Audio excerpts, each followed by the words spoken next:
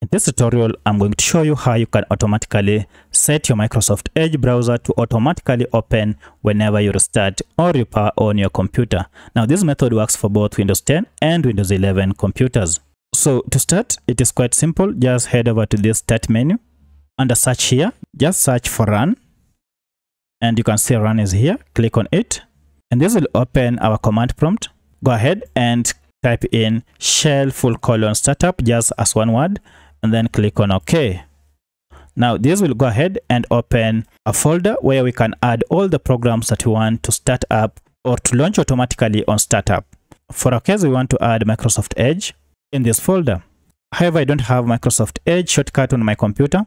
If you have it, just go ahead and right click on it and then copy and paste it here. But if you can't see it or if you can't find it, just head over to start menu here and then search for Microsoft Edge and Microsoft Edge browser is here.